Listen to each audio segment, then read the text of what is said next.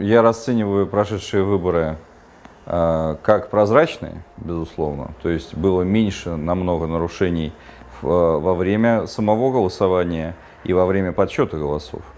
Но не как честные. То есть эти выборы прозрачные, но не честные, потому что никаких равных условий агитации с партией власти не было.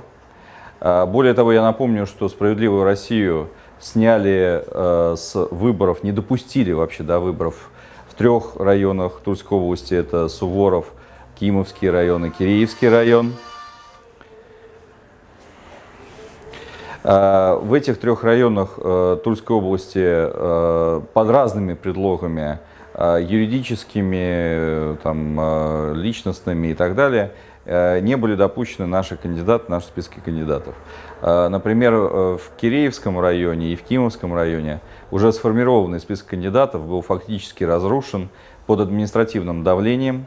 Людям э, из списка звонили, обрабатывали, и э, очень многие дрогнули. У нас фактически 25% списка в этих районах отказались кандидаты, потому что было такое давление. Поэтому ни о каких честных выборах идти речь не может. А, что касается выборов в Новомосковске, то, безусловно, я считаю, э, к сожалению, это поражение оппозиции. А, но посмотрите сами, 44% э, набрала партия власти, но в реальности они получат около 80% э, мест в новом собрании депутатов. Почему? Потому что перераспределение мандатов, раз, от совсем мелких партий не прошедших. А второе – это одномандатные круга. И, конечно, э, то, что партия власти, не пользуясь поддержкой даже половины, даже проголосовавших при явке в 30%, а это, ну, половина, это 15% от общего числа э, новомосковцев.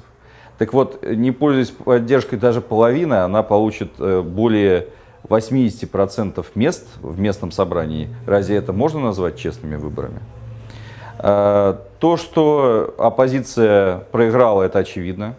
И не только э, небольшой результат нашей партии, когда мы провели только одного депутата в Новомосковске, э, и ЛДПР, которые с Родиной, которые тоже провели только по одному депутату, но и даже результат КПРФ я считаю провалом, потому что э, три депутата прошли от КПРФ при 17% поддержки, и что будут делать эти три депутата при том, что у «Единой России» абсолютное подавляющее большинство. Я считаю, конечно, это провал. И э, причин для этого провала много. Э, конечно, мы не смогли в первую очередь э, мотивировать и привести на избирательные участки своего избирателя, который поддерживал у нас оппозицию.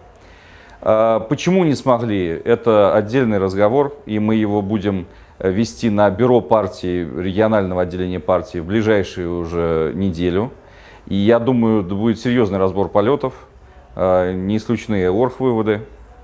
А, и второе, конечно, это нож в спину, который нам воткнул господин Денис Бычков, который, являясь до сих пор, формально говоря, членом партии «Справедливая Россия», стал активно агитировать за партию «Спойлер», «Родину», и очень многие избиратели были просто сбиты с толку. Э, его поведение также будет рассмотрено на бюро регионального отделения. Я буду предлагать э, господина Бычкова, нынешнего министра образования, в правительстве Тульской области исключить из партии «Справедливая Россия» за предательство интересов э, партии. Что можете сказать по поводу низкой явки населения? С чем это связано? Ну, конечно, это первое время проведения выборов. Одно из самых неудачных, которое было выбрано. Более того, я считаю, что вся кампания партии власти велась таким образом, чтобы явку снизить. То есть очень было мало информации, очень было все это сделано келейно. То есть э, партия власти работала на то, чтобы пришел ее избиратель. А, и это им удалось. То есть они работали точечно только с теми, кто их поддерживает. А, они проводили специальные опросы, обходы населения, выясняли, кто их поддерживает, и дальше продолжали работать только с ними. Им не нужна была высокая явка изначально. И этого они добились. Ну и второе, конечно, не доработала оппозиция. И здесь э, и, и мы не доработали, безусловно, наше местное отделение, например, в Новомосковске, и в других районах тоже. И э, то, что люди не, э, не верили в то, что оппозиция изначально победит и поэтому не пришли на избирательные участки, конечно, нужно делать вы, выводы самой оппозиции. И делать выводы серьезные, потому что э, впереди у нас через год выборы в областную думу. Вот, э, то, как красиво, в кавычках, э, партия власти обыграла оппозицию на этих выборах, надо ей сказать спасибо этой партии власти, как сказал царь Петр после Наровской битвы, и двигаться вперед к Полтаве, чтобы те, те учителя, в кавычках, от партии власти, поняли, что такое Полтава. Нарвой не заканчивалась война.